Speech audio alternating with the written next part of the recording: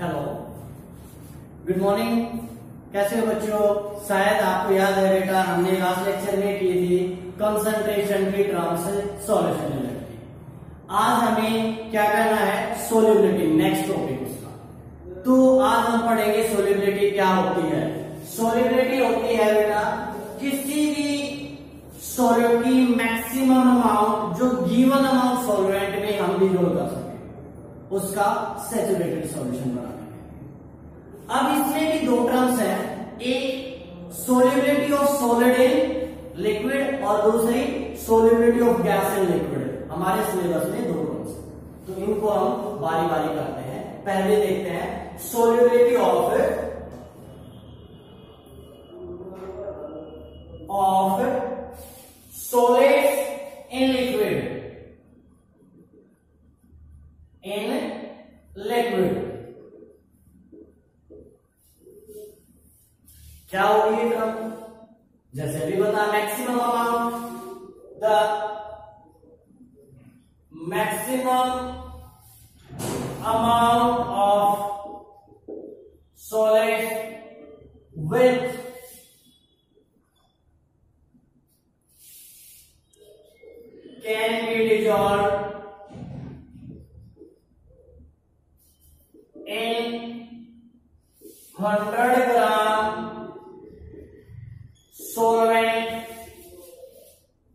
It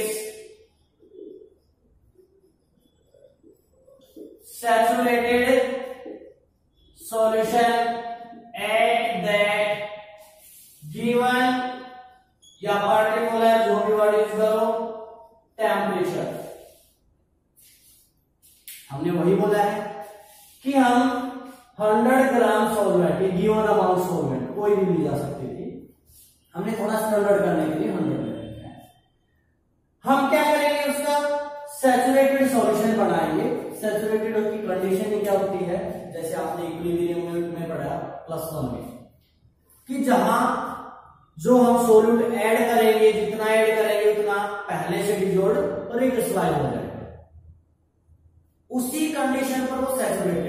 जब तक और डिजोल होगा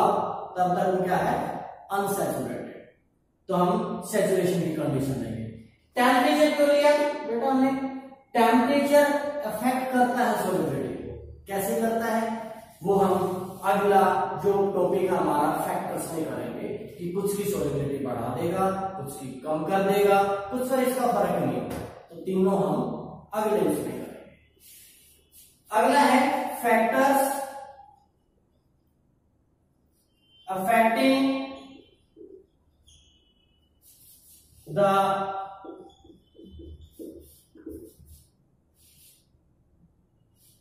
solubility of solids in liquid वो फैक्टर्स कौन कौन से हैं जो सॉलिबिलिटी को अफेक्ट करेंगे सबसे पहला है किसकी नेचर ऑफ सोल्यूट या यहां पर सोल्यूट क्या है सोल्यूट भी कह सकते हो एंड सोलवेंट इन दोनों की नेचर इफेक्ट करेगी उसका क्या फर्क होगा छोटी सी वर्डिंग है जो एक्सप्लेन कर देगी आपने पहले भी पढ़ रखी है प्रश्नों में क्या है लाइट विजुअल लाइट इसका मतलब हुआ जो जैसा उसको भाई वैसा ऑब्वियसली हर जगह प्रूवन है लाइट डिजोलाइट इसका मतलब है polar dissolve polar and non polar dissolve non polar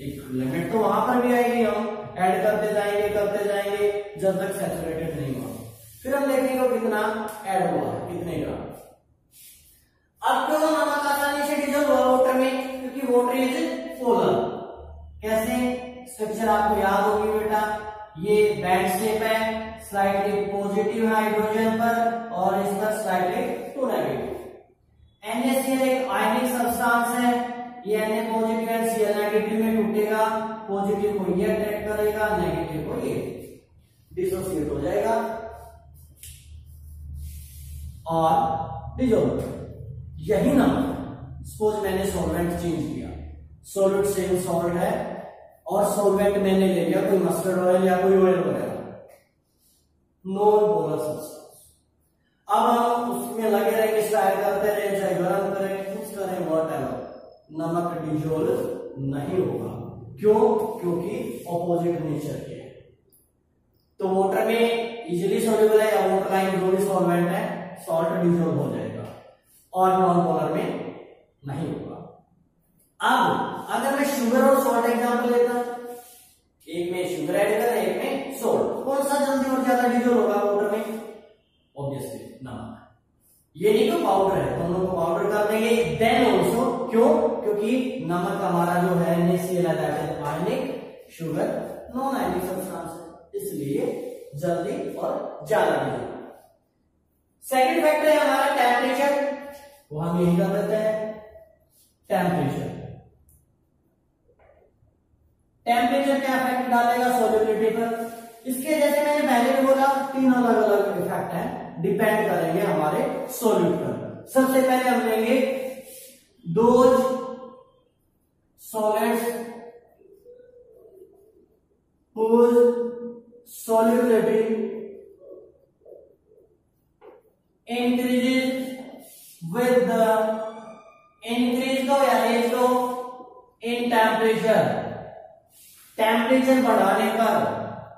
solubility भी बढ़ेगी कैसे हमें पता है सोल्यूट प्लस सोलवेंट इक्विलिब्रियम में क्या देंगे हमें सॉल्यूशन सोल्यूट प्लस सोलवेंट मिलकर क्या बना रहे सोल्यूशन और इक्विलिब्रियम आएगा तभी सोलिबिलिटी निकालेंगे अब अगर हमारा ये प्रोसेस हो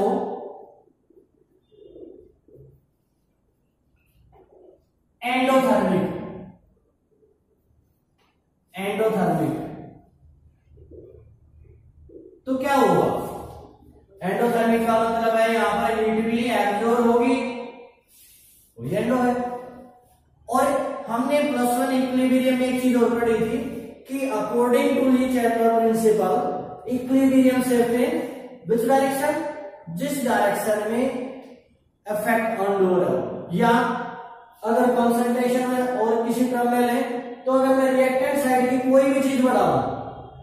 मीडियम ऑब्वियसली फॉरवर्ड जाएगा प्रोडक्ट साइड की कोई भी चीज बढ़ेगी तो बैकवर्ड और फॉरवर्ड में जाने का मतलब क्या हुआ इक्विलिब्रियम फॉरवर्ड जाने का मतलब है सोलिबिलिटी बदला ग्रोथ अब यहां पर देखो अगर मैंने इसको हीट किया हीट प्रोवाइड की तो equilibrium forward then according to Le Chatelier principle equilibrium shifts in forward direction means solubility in increases इसके एग्जाम्पल ले सकते हो एनएसीएल है केसीएल है एनएबीआर केबीआर शुगर वगैरह सब इसके एग्जाम्पल गॉट इट अब सेकंड हम लेंगे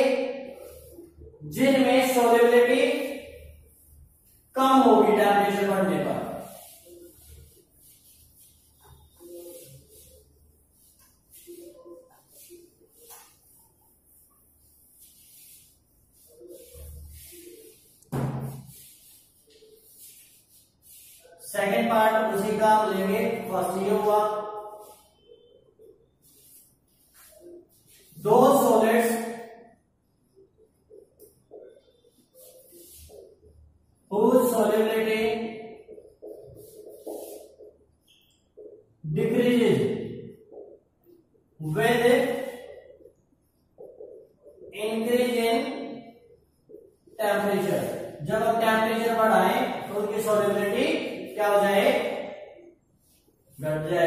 कैसे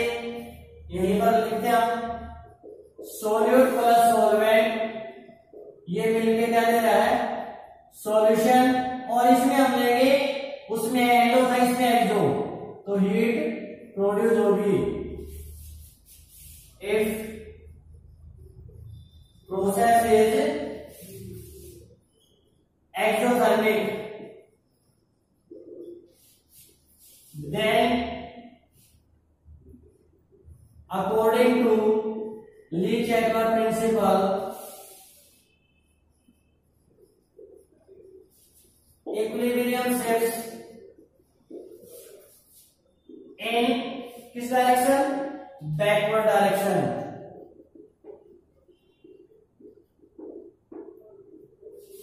Means solubility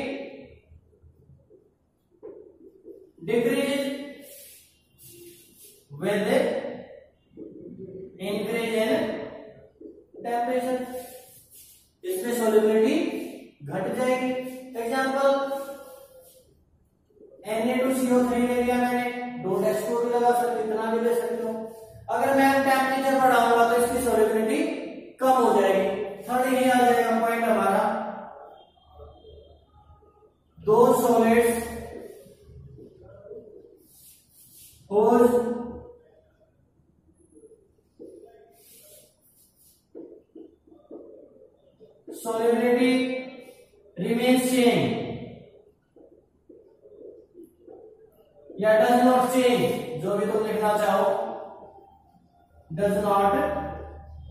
change जो भी कहना with increase यानी in temperature इसके केस में क्या होगा कि हम टेम्परेचर बढ़ाएंगे तो अपनी स्टेट थोड़ी वेरी करेगा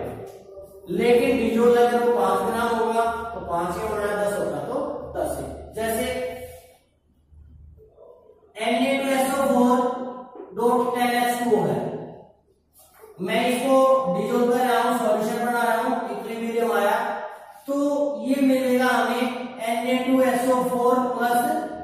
टेलेस्मो या तो या इसी फॉर्मेट में अब यहाँ टेम्परेचर का क्या हो रहा है कुछ बुक में आपको मिलेगा थर्टी टू पॉइंट फोर कुछ में मिलेगा थर्टी टू पॉइंट एट दोनों ठीक है कुछ ज्यादा फर्क नहीं है thirty two point four degree Celsius से अगर मैंने अबो किया तो उस फॉर्मेट में और बिलो किया तो इस फॉर्मेट डिजोल सेम अमाउंट में होगा तो सोलिबिलिटी रिमेन्स से अब क्वेश्चन क्या आता है हमें तो बोर्ड एग्जाम के क्वेश्चन भी करने हैं मैंने क्वेश्चन बढ़ता है यहां पर define solubility and what is the effect of temperature on the solubility of solid and liquid अब अगर आप सिर्फ सोल्यूबिलिटी बताओगे और ये पार्ट बताओगे तो नंबर हाफ आएगा क्योंकि देखा जाए तो चार चीजें थी तीन ये पार्ट और एक डेफिनेशन दो छोड़ दिए पार्ट दो बता दी मार्क्स हाफ हो जाए इसलिए क्वेश्चन ध्यान से पढ़ना है और आंसर भी पूरा हो है इसके बाद हमारी आएगी solubility of gas in liquid उससे पहले दो फैक्टर और हैं थोड़ा सा बता देते हैं एक आएगा प्रेशर प्रेशर सॉरी एक प्रेशर प्रेशर का क्या इफेक्ट होगा solubility of a solid electron हमने जो टर्म्स पढ़ते हैं हम स्टेट ऑफ मैटर में कि सोलिड के केस में भी पढ़ते हैं नेग्लिजेबल या मोर कॉम्प्रेशन पढ़ते हैं लिक्विड के केस में भी यही पढ़ते हैं आप उन्हीं दो को मिलाया तो अगर उनकी कंप्रेसिबिलिटी नेग्लिजेबल है तो सोलिबिलिटी के इफेक्ट भी क्या होंगे नेग्लिजेबल तो हम यहां प्रेशर का कोई इफेक्ट नहीं पढ़ रहे हैं क्योंकि प्रेशर का इफेक्ट नेग्लिजेबल पड़ेगा solubility of solid in liquid अब गैस की किसमें मुझे नेग्लेक्ट नहीं करेंगे अगला है गैस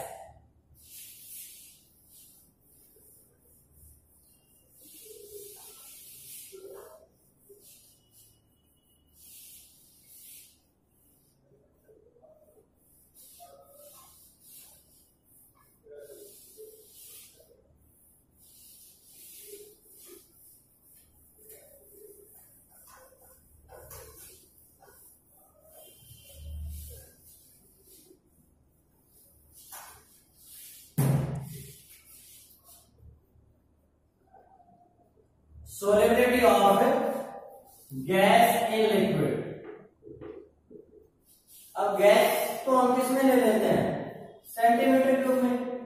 डेफिनेशन सिमिलर आएगी कैसे the maximum amount of a gas in CC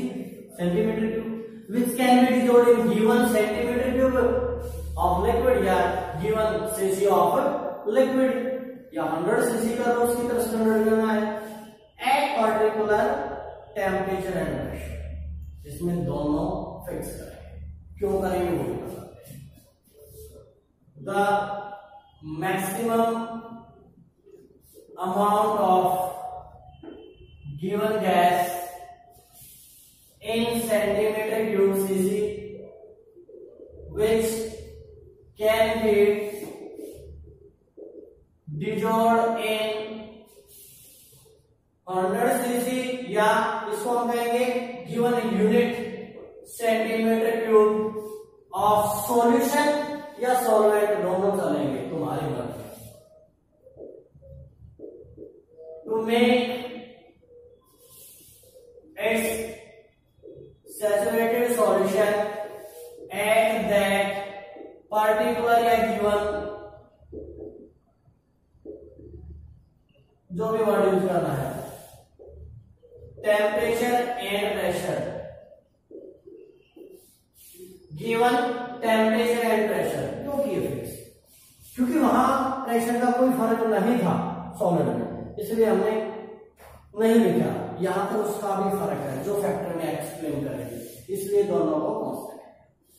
अगले टर्म इसमें भी है factors factors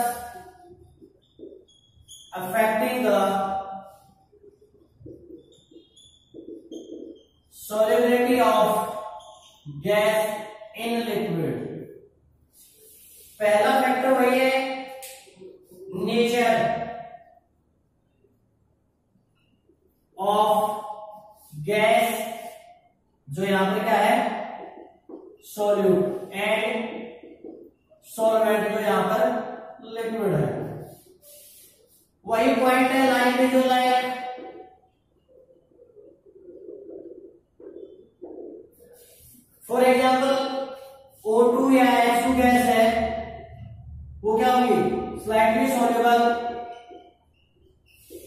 in water जबकि जबकि जो अमोनिया है वो क्या होगी हाईली सोलेबल इन वाटर ये वाटर में बहुत ज्यादा डिजोल्व होगी ये नेग्लिजेबल होगी क्यों नॉन पोलर है पोलर रखें सिमिलर नेचर की गैस है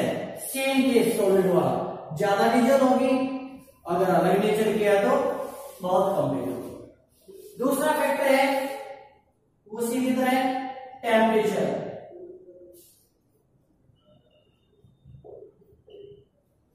टेम्परेचर अगर मैंने इंक्रीज किया इफ वी इंक्रीज टेम्परेचर हमने टेम्परेचर इंक्रीज किया तो जो सोलेबिलिटी है ऑफ गैस ए लिक्विड क्या होगी सोलिबिलिटी कम हो जाएगी क्यों काइनेटिक एनर्जी बढ़ेगी पार्टिकल्स की और कम होंगे निकल जाएंगे इसमें जो थर्ड फैक्टर है दैट इज मोस्ट इंपोर्टेंट किसका effect of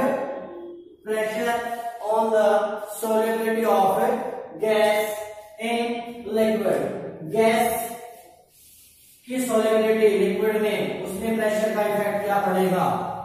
वो अभी देखते हैं जो मैंने लिखा प्रेशर उसी का मतलब है इफेक्ट ऑफ प्रेशर को क्या बोल सकते हैं एमरे लॉ या ये क्या है effect of pressure on the solubility of gas in liquid एक ही बात है तो हेनरी लॉ एक्सप्लेन करेंगे हम अकॉर्डिंग टू हेनरी हेनरी के अकॉर्डिंग क्या है जो प्रेशर का इफेक्ट हो क्या होगा the mass of a gas dissolve in liquid is directly proportional to the pressure applied on it at that given या पार्टिकुलर टेम्परेचर यहां पर भी टेम्परेचर का रोल होगा क्या होगा सेम गैस सेम सॉल्वेंट अगर हम ले तो क्या होगा सेम गैस सेम सॉल्वेंट ले लेकिन टेम्परेचर चेंज कर दे तो सोलिबिलिटी चेंज होगी क्योंकि टेम्परेचर भी अफेक्ट करता है हमें बताया तो same gas same solvent temperature different तो भी सोलिबिलिटी चेंज हो जाएगी मैथमेटिकली से लिखे तो जो मास है डायरेक्टली प्रोपोर्शनल किसके है प्रेशर के या इसको कैपिटल में ले सकते हो यहां आप लिख दोगे एम क्या है mass of gas dissolved mass of gas dissolved in liquid ठीक है प्रेशर अप्लाइड जो प्रेशर लगाया एम इज इक्वल टू क्या हुआ यहां से के इंटू पी के क्या है यहां पर हेनरी कॉन्स्टेंट जिसकी वैल्यू अलग अलग गैस के लिए अलग अलग है सेम गैस के लिए भी अलग अलग टेम्परेचर पर अलग अलग है गिवन मिलेगी मैंने कंडीशन और बनेगी मैनुअल ऑब्जेक्ट तो ये हुई दूसरा उसने कहा कि जो पार्सल प्रेशर के टर्म्स में अब हम अगर कोल्ड ड्रिंक की बोतल ओपन करें देखा होगा बेटा बबल्स निकलते हैं प्लास्टिक के कभी गिर जाए तो कभी वो फट जाए या उसका उसकी जो कैप है दूर चली जाए या फिर खोले तो बाहर आए वो क्या है और कितना प्रेशर लगेगा कई बार हमें बहुत कम मिलता है किसी में किसी में ज्यादा इसी के अकॉर्डिंग इसने कहा handle only the partial pressure applied by a gas अब गैस अप्लाई कर रही है ध्यान रखना वो हमने किया था डिजोल्व करते वक्त अब ये गैस कर रही है बाहर निकलने के लिए is directly proportional to the mole fraction of gas dissolved in liquid mathematically लिख देता हूं पहले मैं जो पार्सल प्रेशर हमने पीएस प्रदर्शन किया कितना लगाइए किसके डायरेक्टली है उसका जो मोल फ्रैक्शन है मोल फ्रैक्शन हमने पढ़ा टोटल वन होता है अब अगर पॉइंट टू ये है उनमें से और एक में पॉइंट थ्री तो पॉइंट थ्री वाला ज्यादा प्रेशर लगाएगा मैथमेटिकली ये है इसको हम क्या लिख सकते हैं P H equal to K H into X A यहां पर भी आप बता दो पी ए क्या है partial pressure applied by gas K H क्या है हेनरी कॉन्स्टेंट और एक्स ए क्या है मोल फ्रैक्शन ऑफ गैस ये चीजें एग्जाम में भी बता दिया करो हम नहीं लिखते कई बार तो जरूरी है अब जो के ये भी कौन से के भी एनवी क्या फर्क है फर्क है रिवर्स के जो है that is equal to one by K H या K H is equal to one by K अब इसकी लिमिटेशन और एप्लीकेशन दो मिनट की है लिमिटेशन ये है कि ये गैस पर ही लगेगी प्रॉपर्टी दूसरी गैस पर भी जो आइडियल गैस की कंडीशन है ideal gas equation plus one में कि टेम्परेचर कैसा हो हाई प्रेशर लो तब अप्लाई होती थी वही इसमें ये दो है छोटे छोटे लिमिटेशन एप्लीकेशन क्या है कहाँ कहां अप्लाई कर सकते हैं मैं ओरली बता देता हूं जो सॉफ्ट ड्रिंक या कोल्ड ड्रिंक या कार्बोनेटेड फूड ब्रिवेज जितने भी हैं उन सब में carbon dioxide gas high pressure पर भरते हैं और फिर कैप लगा देते हैं अकॉर्डिंग टू हैनलॉय दूसरा हमारे लंग्स हाई प्रेशर पर ऑक्सीजन डिजोल्व करते हैं ब्लड में अकॉर्डिंग टू हैनलॉ ज्यादा हाई प्रेशर पर डिजोल्व करेंगे ज्यादा करेंगे तीसरी एप्लीकेशन इसकी कहां पर है स्कूबा ड्राइवर्स जो डीप सी ड्राइवर्स होते हैं गोताखोर वो ऑक्सीजन लेके जाते हैं सिलेंडर में अगर उसमें ऑक्सीजन और नाइट्रोजन दो ही चीज डाल दें हम क्योंकि नहीं तो ये दो तो गैस नहीं इन्वायरमेंट में वट है नीचे जाएगा कुछ नहीं होगा आराम से काम करेगा लेकिन उसकी बॉडी में हाई प्रेशर होने की वजह से नाइट्रोजन भी जाएगी लंग्स में जब नीचे है ऑक्सीजन तो कंज्यूम कर लेगा नाइट्रोजन नॉन रिएक्टिव गैस है अंदर ही रहेगी नॉन टॉक्सिक है कोई दिक्कत नहीं है लेकिन जब वो बाहर आएगा प्रेशर रिलीज कम हो जाएगा तो वो नाइट्रोजन गैस जैसे कोल्ड ड्रिंक में बबल निकलते हैं ऐसे निकलेगी लंग से that is very painful act बहुत पेन होगा उसे वो अनकॉन्शियस भी हो सकता है और एक पेन सहने के भी हमारे लिमिट है उसकी डेथ भी हो सकती है इससे बचने के लिए क्या किया जाता है ट्रेस अमाउंट में थोड़ी सी हीलियम डाल देते हैं उसमें हीलियम बहुत हल्की गैस है वो ऊपर रहेगी क्या करेगी वो एनेटो को नहीं आने देगी वो परसेंट फिर सेफ है नाइट्रोजन गई नहीं ऐसे ही हाई एल्टीट्यूड पर जो पर्सन होते हैं उन्हें कॉमन बीमारी हो जाती है एनेक्सी मीन्स ब्रेन तक ऑक्सीजन कम जाएगी क्योंकि वहां पर वेपर प्रेशर कम है जो अगले टर्म पढ़ेंगे हम तक वेपर प्रेशर वहां पर एयर का प्रेशर कम है एटमोस्फेरिक का प्रेशर कम है इस वजह से क्या होगा वहां पर उसके ब्रेन ब्लड में पूरी ऑक्सीजन नहीं जाएगी अवेलेबल नहीं है ब्रेन प्रॉपर डिसीजन नहीं ले पाता है जिसे हम एनेक्सिया बोलते हैं तो बेटा यहां तक करो डाउट्स आए स्क्रीन पर नंबर है कंसल्ट करो और नेक्स्ट लेक्चर कल करें